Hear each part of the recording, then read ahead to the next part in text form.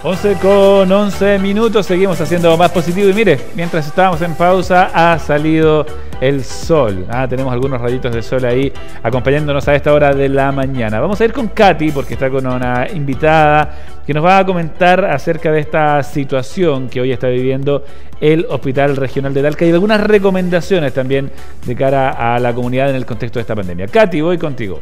Así es, Walter, eh, un importante tema, eh, por eso tenemos a nuestra invitada, ya la tenemos en pantalla y saludamos a Ingrid Fuente, quien es académica de enfermería de la Universidad eh, Católica del Mable. ¿Cómo está Ingrid? Bienvenida y muy buenos días también. Hola, muy buenos días, gracias por la invitación. Estoy bien y contenta de tener esta oportunidad para hablar con las personas sobre la problemática de salud. Gracias. Exactamente, una problemática que no se va a ir así fácilmente porque se nos siguen sumando una y otra cosa más con esto de la nueva variante y tantos temas que queremos también un poco eh, educar a nuestra población y qué mejor que lo haga ustedes que son los expertos, los profesionales de la salud y a quienes indicar y entregar el mejor consejo a la hora de cuando hablamos de este colapso que tiene el Hospital Regional de Talca, el hospital que ha tenido que mantener y soportar a toda la región del Maule prácticamente para lo que es el COVID-19. Cuéntanos un poco, Ingrid, qué ha sido esto del colapso, qué, está pasando, eh, por qué se produce este colapso en los hospitales. Bueno, entre las distintas declaraciones que han habido desde el Colegio Médico, como también de algunas autoridades del, Hospital de Talca, eh, básicamente el problema se presenta porque ha habido un aumento en las consultas de urgencia de patologías que no necesariamente tienen un carácter eh, de riesgo vital. Eh, entonces, este aumento de pacientes de otras patologías que pueden ser crónicas, ¿cierto? Se han visto descompensados porque también, y paralelamente, Atención Primaria de Salud no ha hecho muchos controles, lo que ha hecho que estos otros pacientes se descompensan y consultan en la urgencia del hospital regional, lo que hace este gran número de pacientes que no necesariamente tienen estos riesgos vitales y colapsan el sistema. De hecho, en las declaraciones que hubieron recientemente, eh, había un gran número de pacientes hospitalizados en el servicio de urgencias, eh, esperando ser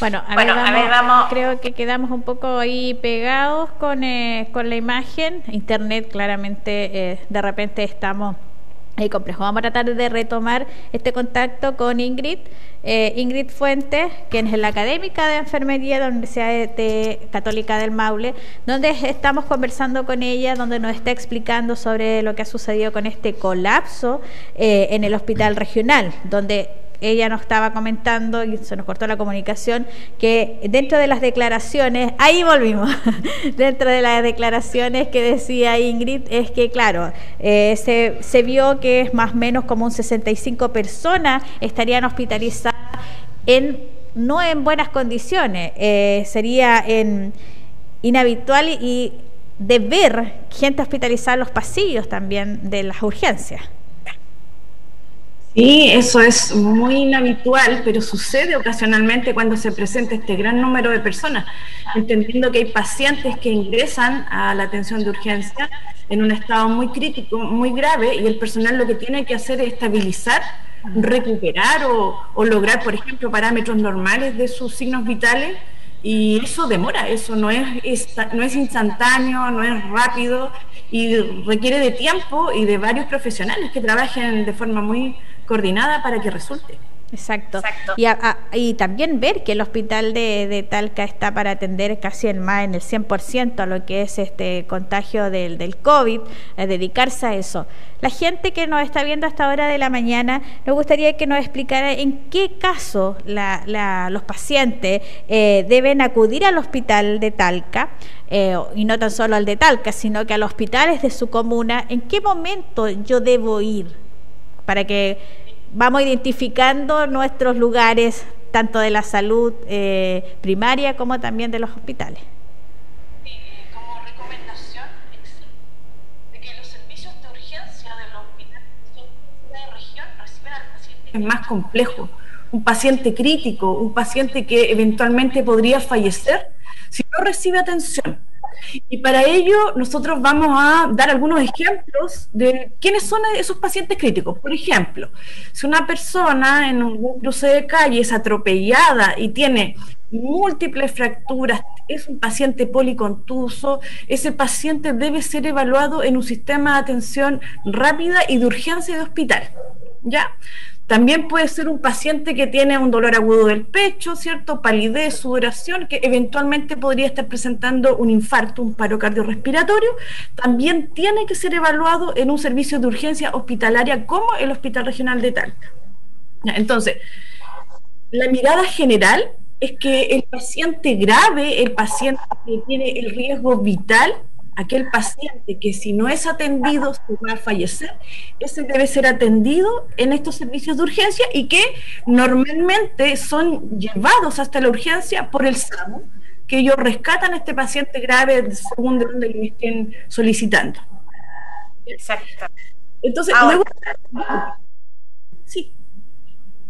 No, termina nomás, la estaba escuchando. Luego tenemos como un segundo nivel, que es un paciente que tiene un riesgo eventualmente no de muerte, pero que sí también hay que verlo, en donde podríamos encontrar, por ejemplo, un paciente descompensado de una patología eh, cardiovascular, por ejemplo, una crisis hipertensiva, un problema que presenta una descompensación respiratoria, quizás un paciente que está cursando por una o un paciente que tiene dificultades respiratorias, que son los pacientes hepóticos, que son aquellos que tienen mucha dificultad y que eventualmente presentan algunas exacerbaciones claramente en la temporada invernal, dado por la contaminación ambiental, dado por el clima y por la complejidad de sus propias patologías de base.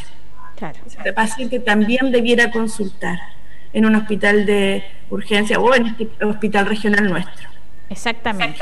Ahora podemos pasar, ya más o menos ya sabemos, hemos estado ahí entregando esa información desde cuando los expertos comenzaron a, dar a conocer lo que estaba sucediendo en el hospital regional y por lo mismo en la bajada es ahora tanto los medios de comunicaciones como los profesionales de la salud a comenzar a educar a la población. ¿En qué sentido? Ya sabemos cuándo acudir al hospital regional o al hospital de la comuna sino también existen otros centros de salud que también pueden ayudar.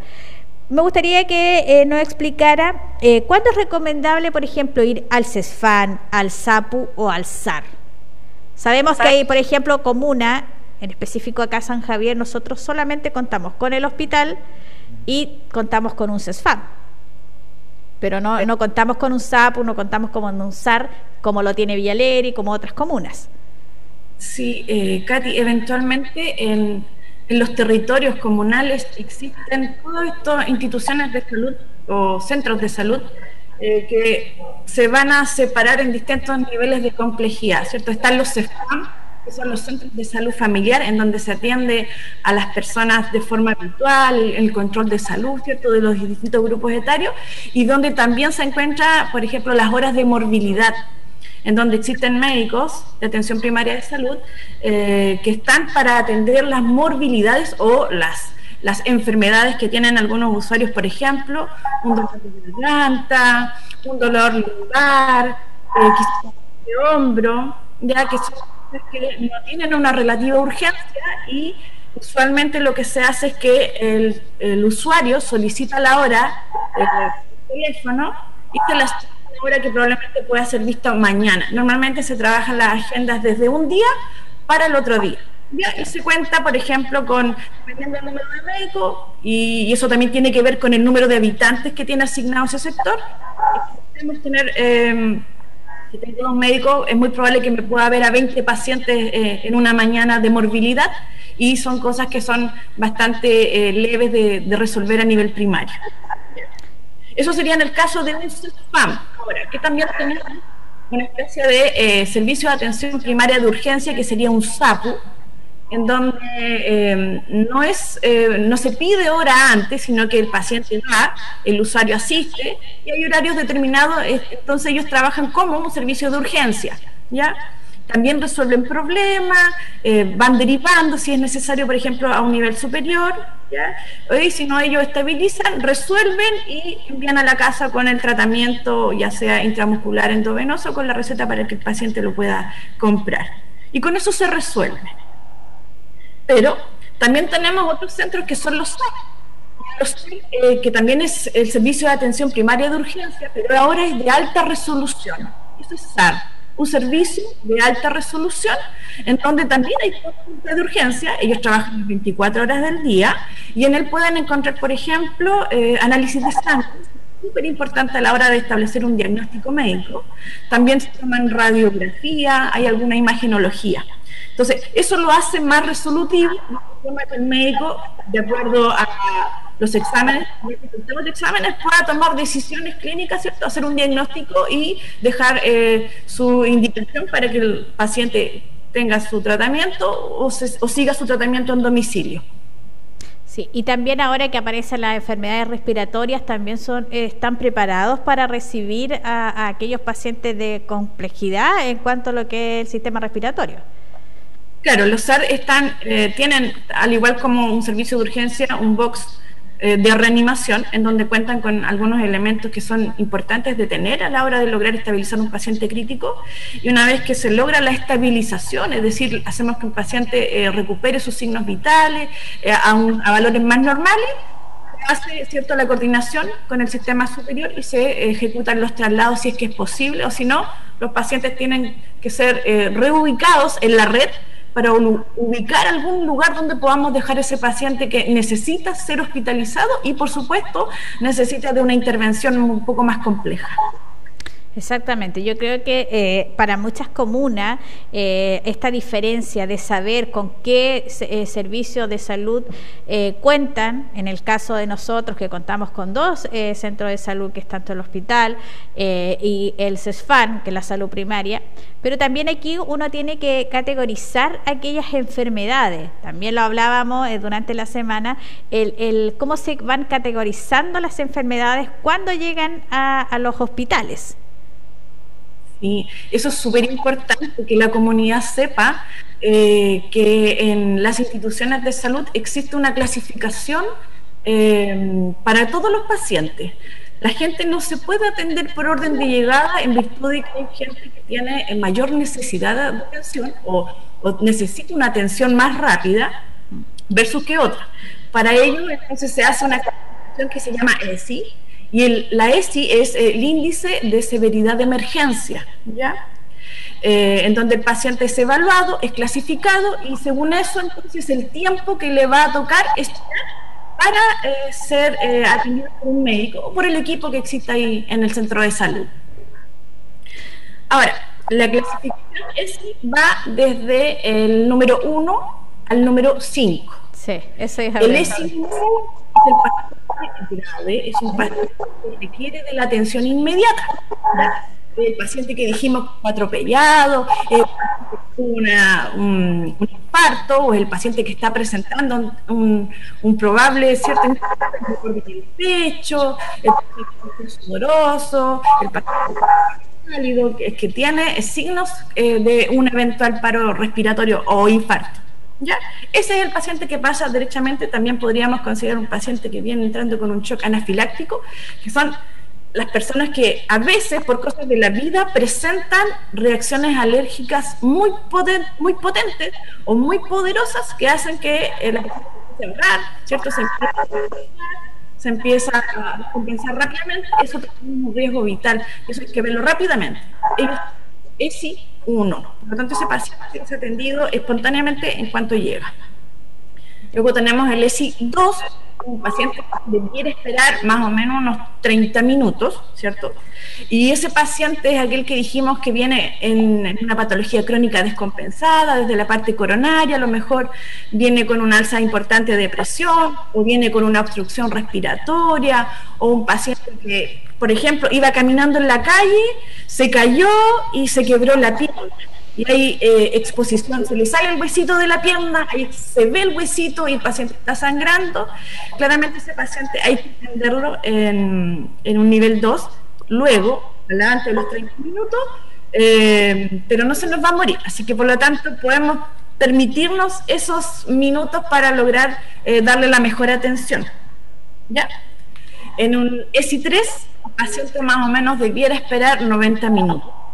Y eso ya es una hora y media. Claro. Y aquí empiezan como los problemas porque para todos nosotros cuando estamos enfermos y consultamos, sentimos que nuestra enfermedad o nuestra consulta o urgencia es de la que está al lado. ¿cierto? Y ahí empieza a haber esta, esta que no me atienden, que si me atienden, que primero, que no llegue primero, que porque él y porque yo no. ¿Ya?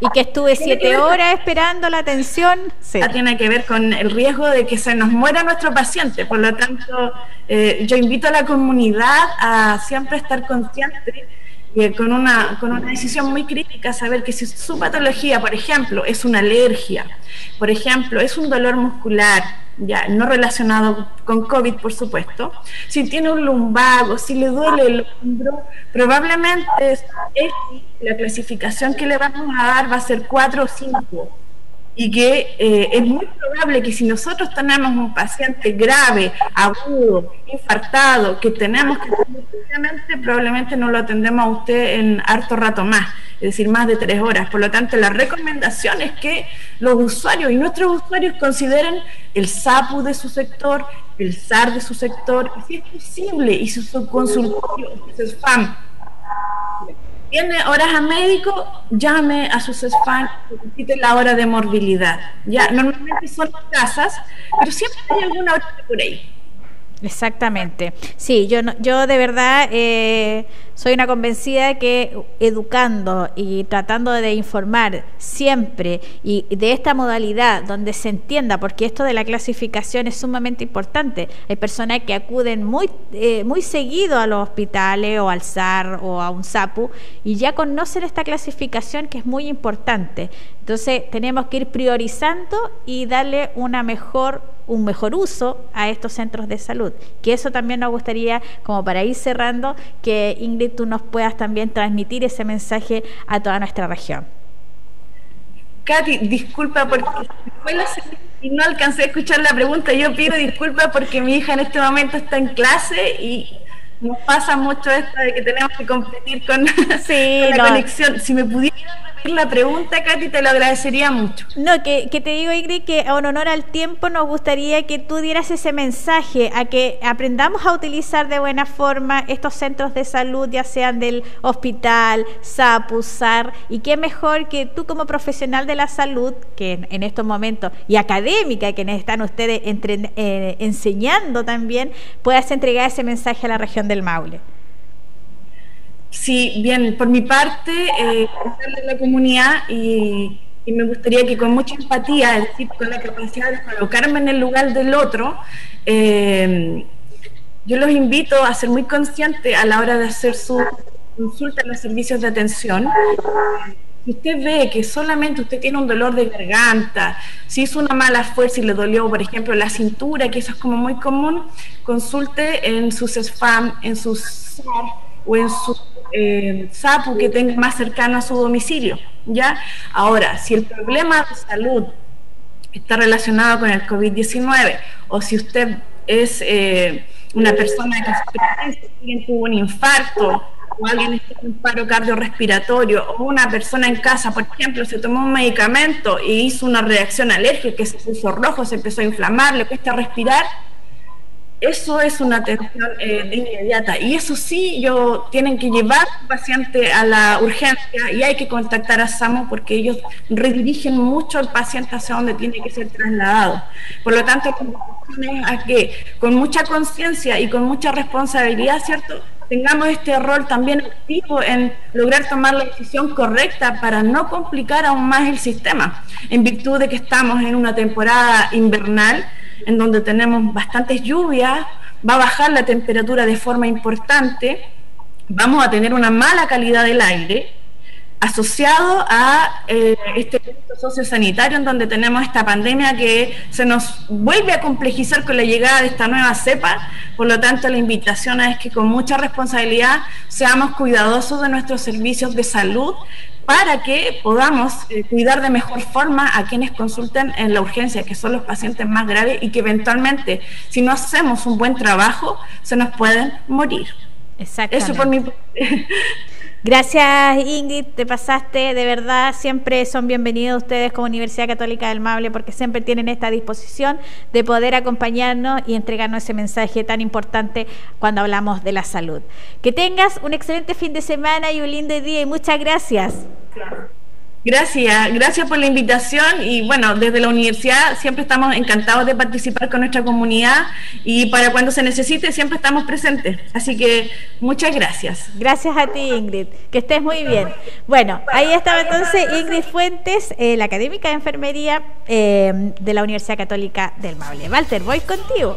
Así es, Katy, escuchando atentamente a nuestra entrevistada, de, verdad, eh, claro, hay que tener ahí también conocimiento de cómo se utilizan los eh, servicios públicos de urgencia y todos los otros estamentos eh, en salud para poder utilizarlo de forma más óptima, sobre todo ahora que eh, hablamos que el tema colapso hospitalario ya parece ser un, un, término bastante usual. Vamos a la música, por cierto, 11 de la mañana con 32 minutos, nos queda programa todavía.